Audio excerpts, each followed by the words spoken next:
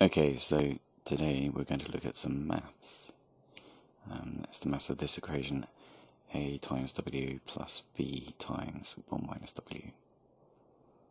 Um, this equation is used in computer graphics all over the place. It's um, the basic operation of a composite, uh, but today we're going to look at using it to blend between two positions here, a and b.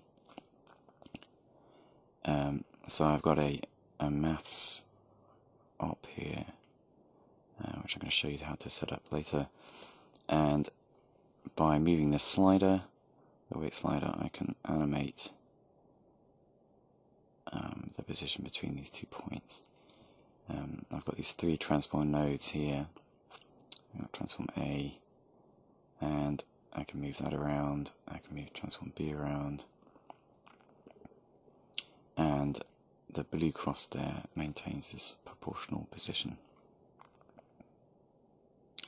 Um, I can type in a minus value to move it out further. So it basically looks at a line between these two points and extends it. Um, and it has a, a few neat little applications. I use it a bit to fix difficult tracks. Um, so if I can find A and B, I can guess using this where um, this final point should be, even if there's no actual point in the scene actually to track. So if I want to put a point, I want to attach something to this point, I can guess where the position is based on any other points in the scene. And it's kind of like a poor man's planar tracker. So it's a bit nicer than just using an offset from B because um, this distance here from there to there is proportional to this length. So as um, as that changes, that's proportional as well. So if things are in, in perspective, then um, you'll get a nice little perspective shift. It's not perfect perfect perspective, but it will do. Um, if you know why it's not perfect perspective, then um, yeah, you can probably do the maths yourself. Anyway, so we're going to go through a few things. We're going to look at um, expressions inside um, Fusion, and we're also going to look at um, some a nice little script to create this little wave function here. So I've got a new comp, and I'm just going to start some placing some reference objects in. So just taking ellipse and a background node.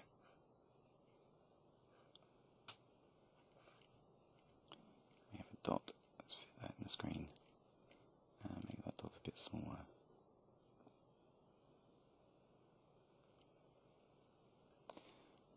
In some transform nodes, one, two, three,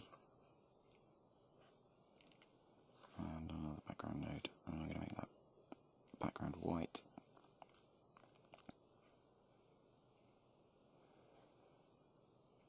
And link this all up.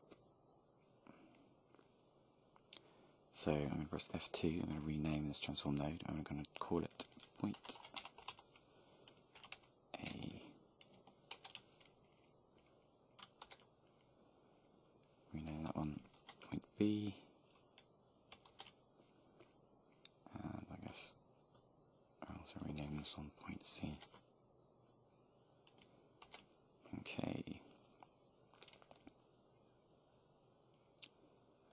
Wire that all up.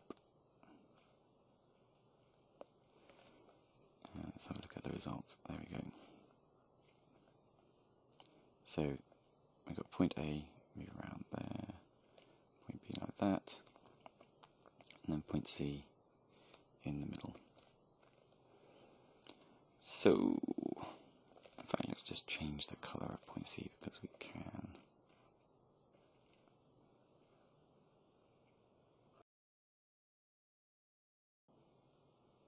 Okay, so the first thing to do is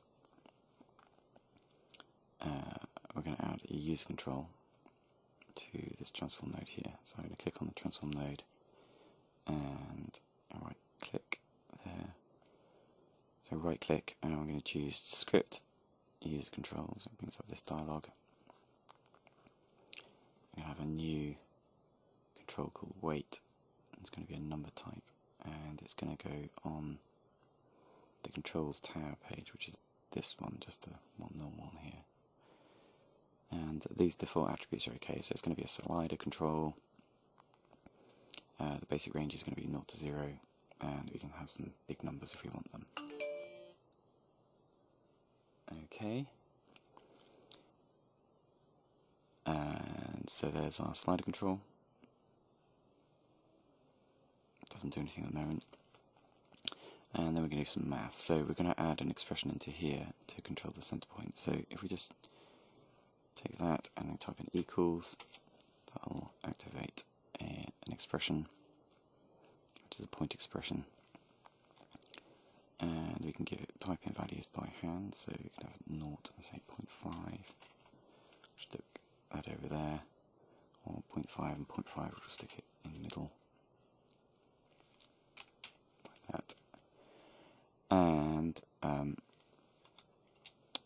we can also do some maths with some other points. So if I click on this one and then this one, control click, we can use uh, the plus sign to connect things together using uh, scripts. So I can use the center of point A, and oops, let's delete that. So I can drag and all write the scripts for the center of point A. So we've got point A dot center. So now um, point C will follow point A around. So if I click on point A's attribute, I'll drag it around, or drag this point C around with it. If I want the um, middle point of the two, I can type in by hand a um, point A center, shift point B center,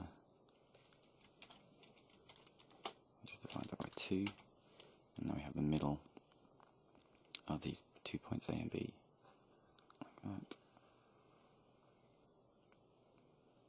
And so we're going to do this weighted average function. Uh, we're using this weight control here. So, uh, and the mass for it is point A times um, weight.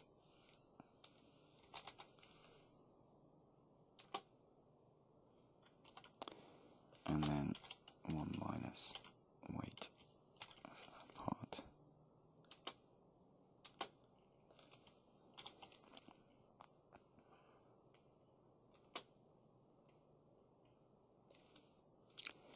So,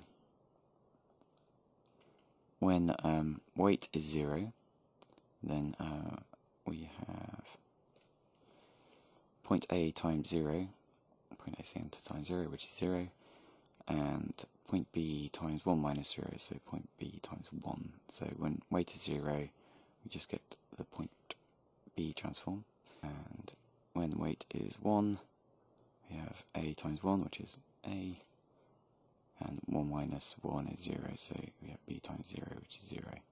So we just get point A when the weight is 1. So, and then we can blend between the two like that. It's very much like um, like an alpha, in fact. It has the same mass as an alpha channel. Um, and that's really how it. All there is to it, really. Um, I've used it. You can use this equation for all kinds of little rigging tricks. Um, in 3D, you can do it for little tricks in 2D. Um, as I said before, I use it for sort of tracking fixes. It's like a poor man's planar tracker. There you go. There's a bit of basic maths for you, uh, and I know you'll find it useful.